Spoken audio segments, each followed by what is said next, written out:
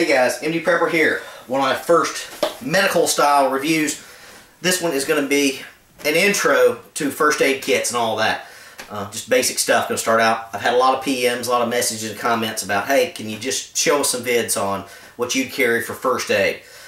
Okay, uh, we're going to start off focusing on basic, you know, hiking, camping, first aid. I'm just talking day trips, night trip, overnight.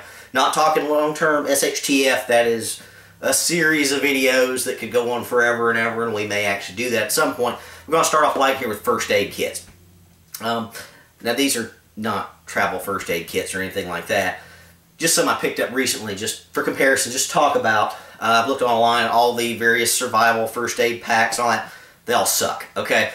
It all sucks. Everything I've seen commercially bought is awful. Maybe somebody's got one out there. I've seen some you know, mini hospital packs that are full backpacks for 300, 400 bucks. Yeah, those might be okay, but not for that price, okay? We can get by with most of the needs we're going to need to cover for first aid. We're relatively cheap, but looks like we're going to have to make it ourselves.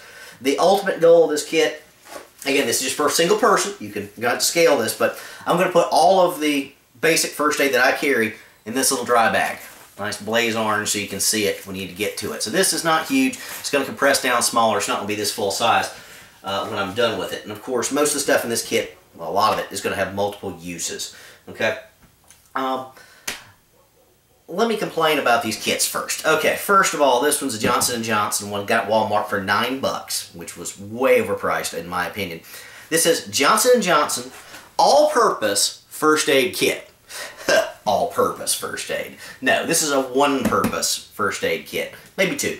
Uh, over here we've got another one. This is the Be Smart Get Prepared kit. This was 450, 5 bucks. This is a 100-piece kit. Again, this is not a multi-purpose first aid kit. It's for one purpose, maybe two. Uh, over here, uh, the first aid for uh, Johnson Johnson was 162 items for nine bucks. And finally, I got this little itty bitty plastic case for a buck at Dollar Tree. Uh, again, it sucks too. We're going to go over each of these. This is going to be some long videos, guys. Bear with me. Uh, first one here, Johnson & Johnson. Let's pop this bad boy open just to give a quick review. Now, this one's basically got the same stuff, just less of it. Uh, some coupons, bah, whatever. Fabric Band-Aids. 30 Band-Aids. Why in the world would you need 30 Band-Aids in a basic little kit? How many wounds are you going to treat out of this one kit? 30 is ridiculous. Oh, but wait, we've got more. We've got 80 bandages here. So that's 110 bandages for your basic first aid kit. Good lord. Um, of course, you've got this little pocket kit, which is very similar to this one. This little grab-and-go first aid. Actually, I like the little dollar one better. Uh, this one's got two cleansing wipes, four gauze, two adhesives that are the fabric, and two of the standard Band-Aids. That's nothing. 12 pieces. Bah. Uh, this is much better overall. Got this giant cardboard divider in here. That's a lot of space you're wasting. That's garbage. Uh, Gloves, yeah, I can't say bad things about those. Gloves are okay. First aid guide, we'll talk about here in a second. Oh, cold pack. Well, those are kind of useful. Not really. Uh, especially because it says store at room temperature. Uh, well, not going to be good in the car on a hiking trip for long, so that sucks. Little bit of tape for taping things down. That's okay. I'm not complain about that, but duct tape's going to do better. Uh, one big bandage. That's alright. Ah, two by two pads useful. Actually something useful for multi-purpose. Um, what do we have here? We've got little butterfly closures. Eh, might be some purpose for these. I'd say Steri-Strips are going to be better. We've got a giant stack of cleansing white towelettes. What is that, nine of them? Good lord, that's a lot. Um, yeah, this is going to be a... Anyway. Oh, Neosporin. Two packets. That's it. Two packets. From what I can tell, this entire kit is made for nothing but minor wounds. Um, what are you going to clean the wound with? Well, we, let's see. Where were the alcohol wipes? Where were the alcohol? We had these little moist towelettes. These could be okay for an alcohol pad. But I've got two packets of Neosporin and a million Band-Aids. Uh, I can treat effectively, uh, let's see, rate limiting step, Neosporin. I can treat two wounds. I've got over a hundred and well, close to 120 bandages here, and I can effectively treat two wounds, okay? Um, garbage. Now, similar in the rest of these kits, uh, this one's just a little smaller, same style stuff. Eh, throw that aside here. Is this okay to have in the house, just to have a stack of Band-Aids and stuff? Sure, okay, it's all in the same place, that's fine, but this is not first aid. Um, to demonstrate my point, the first aid booklet that comes with it, let's see, just to list a few. Amputation, oh, not going to help you with this kit. Uh, bleeding, minor stuff, but nothing major. Breathing problems, again, nothing. Broken bones, burns and scalds, uh, chemical burns, choking airway obstruction, cold exposure, frostbite, heat exhaustion, heat stroke. Penetrating objects, mm, maybe. Um, poisoning, no. Shock, no. Splinters, again, you don't have any tweezers or pickups, so again, no. Sprains, again, no. Stings, again, no. Sunburn, unconsciousness. Oh, wound care infection prevention. Yeah, that this could do okay for two small scratches all of these garbage. I just can't go on enough about how dissatisfied I am with the uh, first aid kits out there in the world. They're just bad, okay? First aid is not just wound care. Um, there's a lot more that goes into it. Again, some of this is going to take extra training. You're going to need CPR and that type stuff. Uh, let me give you the leading causes of death. This is not all of them, but just some of the ones that matter out on the trail. You know what the number one leading cause of death in America is? males or females, heart disease.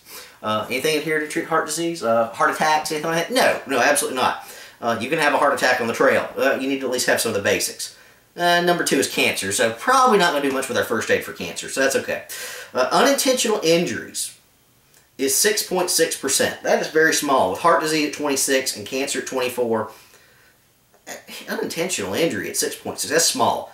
Uh, half that rate, 3% diabetes. Well, you have anything in this treat uh, this kit you can treat basic diabetes issues with? You know how to do that? No.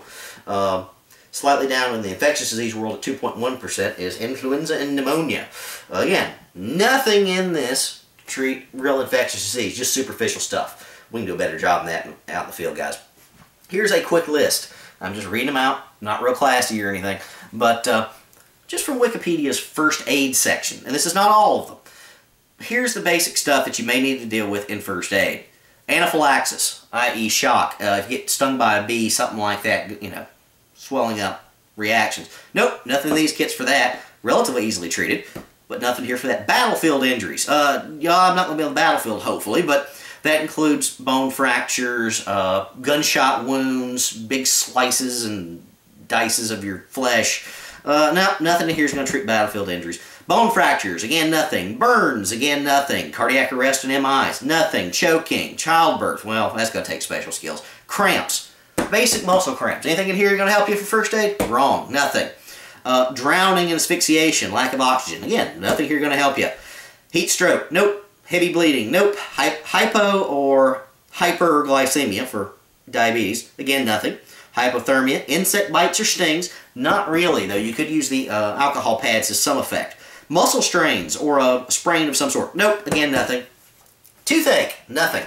Uh, what, minor wounds. Yep, that's the last one on the list. Wounds, yeah, this will help somewhat, little minor wounds, but not real well overall. So we're going to be going over your personal small kit that you're going to need out in the woods. And some of the options I may choose are going to surprise you. Reason being, I'm going to go for the stuff that's going to kill you. Uh, when you're in medical school, when you're in medical training, the first thing that you get trained on is when you're working up a diagnosis with symptomatology uh, with your patient in front of you, what is the worst condition this person could have? What is the thing that's most likely to kill them? Someone comes in with chest pain. Well, think heart attack. Well, it could be acid reflux. Yeah, but I'm going to rule out the heart attack first before I worry about the acid reflux, okay? Uh, we'll worry about that down the road. So that's kind of my intention with this kit, is dealing with the things that could really screw you up, uh, that can kill you fast. Um, out there in the world, out there on the trail, something like that. And guess what? It's not scraping your knee. Um, there's a lot more dangerous stuff out there. Getting stung by a bee if you're allergic, bad. Spraining your ankle so bad you can't move alone out on the trail, bad, especially if it's bad weather and nighttime's coming. Um, heavy bleeding, that's the real stuff to worry about. Better be able to handle that out in the field, and there's some relatively cheap, effective ways to do that. But anyway, I'm done with my little rant for the moment.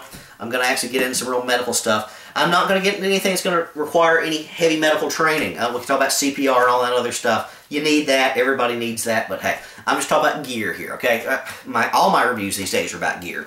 So we're going to talk about gear and gear you need to carry with you. Um, some of it is not going to be in this kit. Some of it's going to be basic stuff you carry with you in general that all of us are going to have. But uh, basically, we're going to put everything we need for at least one person, probably several. I could probably get three or four people's worth of gear in this one thing myself. Uh, we're going to break it down to what you actually need to carry with you. Do you need to carry either of these on the trail? Absolutely not. Um, out of all these kits, $9, $5, $1, I like this one. This is the way to go. You're going to have doctor it up, add some stuff, but I like the little plastic case. It's the same size as this little piece of junk.